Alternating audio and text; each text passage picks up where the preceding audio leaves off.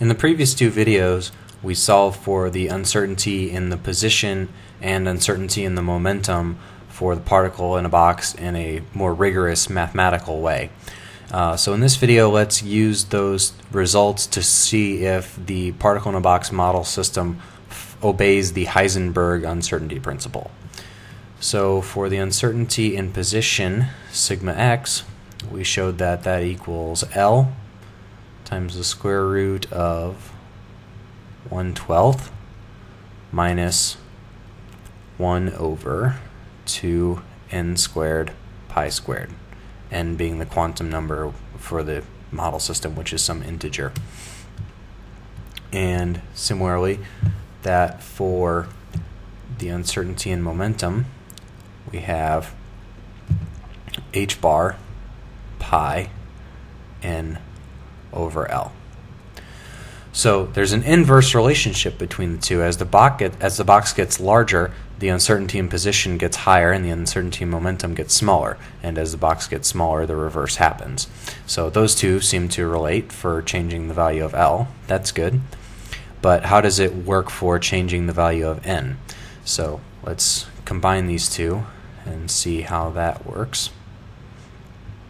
So the product of the uncertainties, sigma x times sigma p, equals, we have h bar pi n. We get an L on the numerator from position, we get an L on the denominator from momentum, and then this whole radicand tags along. But immediately we see that we can cancel out those two L's. So the product of the uncertainties doesn't depend on L. That's good. This will be valid for all lengths of the box. But now we have this h bar pi n.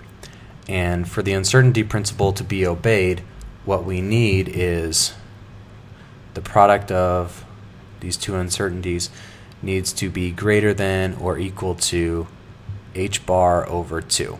So that's just the general uncertainty principle.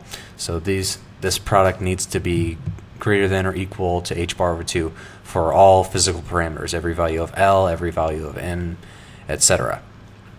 So let's put this into a little bit more convenient form for determining if that's the case. Let's have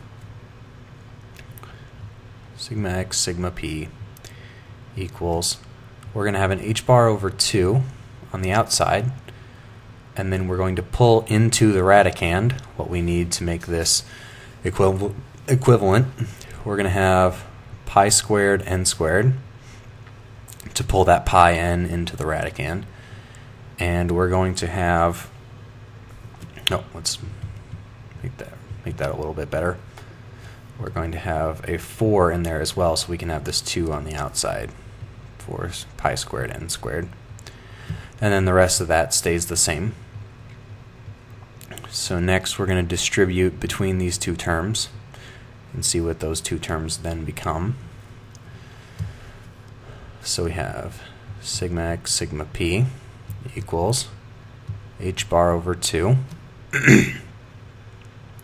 square root of um, on the top we have pi squared n squared over 4 divided by 12 that gives us a 3 on the denominator and then we have 4 pi squared n squared over 2 n squared pi squared, or pi squared n squared, whatever you prefer. So that cancels out to give us a 2. So our final result is the product of the uncertainties equals this h bar over 2 times this constant. And the important thing is that this constant is greater than 1 for all n. So if we the lowest n we can possibly have, we can see as n increases, we're going to get a larger and larger value in here. So it's obviously if it if it's true for n equals one, it's going to be if this inequality is true for n equals one, it's going to be true for all larger values of n. So let's just see when n equals one, this this quantity. Let's do different color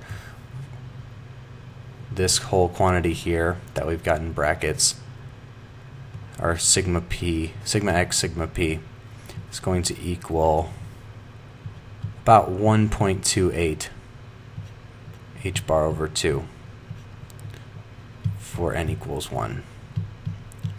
So we indeed do obey the uncertainty principle. That's good. This is a mathematical description of how this uh, uncertainty principle manifests itself in mathematical systems. So it's not a property of measurement alone that this uncertainty has to follow the Heisenberg uncertainty principle, it has to be greater than or equal to h bar over 2. This is an intrinsic mathematical property of how quantum mechanics works. Um, for every system we solve, this product of uncertainties will be greater than or equal to that minimum value of h bar over 2.